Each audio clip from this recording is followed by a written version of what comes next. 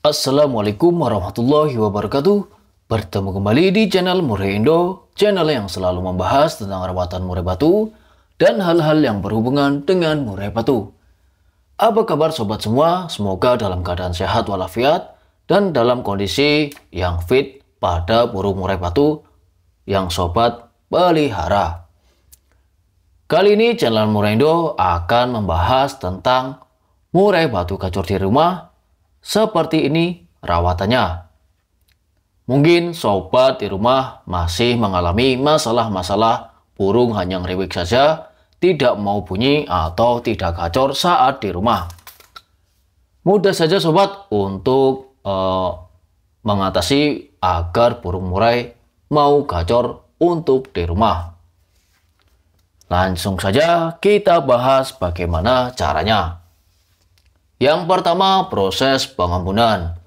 Pengembunan dilakukan ketika pagi hari, sekitar sehabis subuh atau jam 5 pagi, burung murai batu kita langsung embunkan. Setelah proses embun, matahari sudah kelihatan muncul ataupun naik, kita berikan ekstra fooding berupa jangkrik. Biasanya saya berikan porsi 7 ekor jangkrik di pagi hari. Setelah pemberian dan dipastikan burung sudah selesai makan ekstra puding berupa jangkrik, langsung kita melakukan rawatan penjemuran.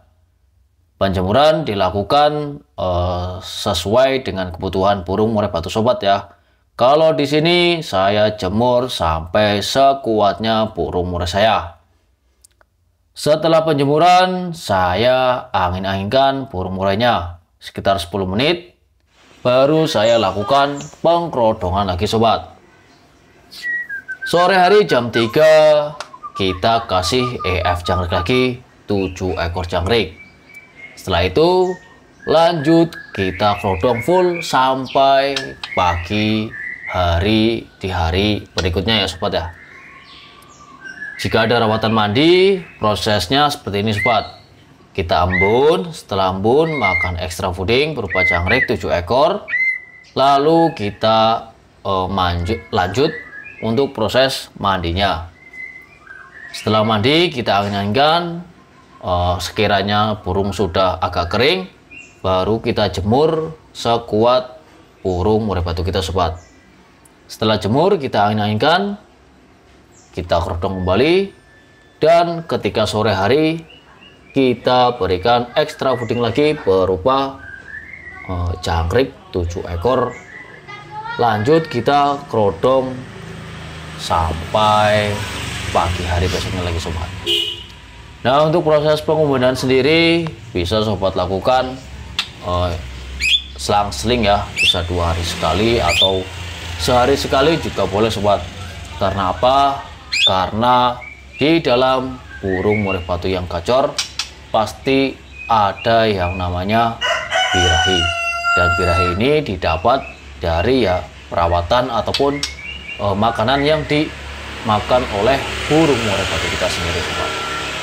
Biasanya untuk selingan pemberian kroto saya berikan tiga hari atau dua hari sekali kita berikan kroto Pemberian kroto dilakukan setelah penjemuran sobat. Catatan lagi, untuk proses penjemuran sobat dapat lakukan setiap hari sobat. Untuk penjemuran ini dilakukan sesuai dengan kemampuan atau kekuatan burung merpati sobat.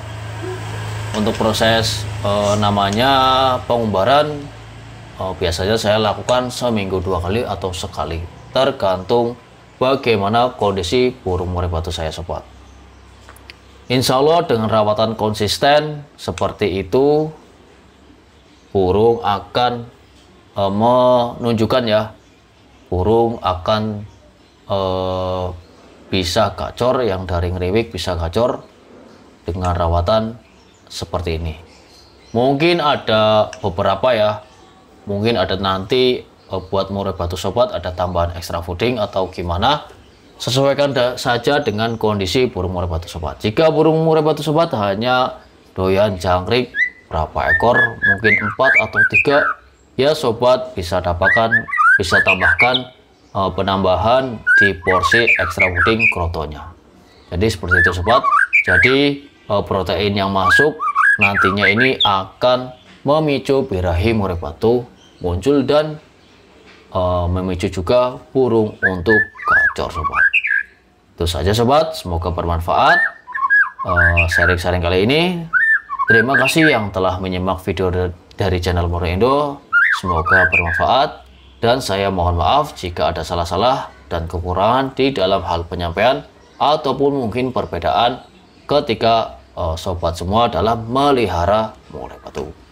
Saya Hermawan, terima kasih. Assalamualaikum warahmatullahi wabarakatuh. Salam kicau mania.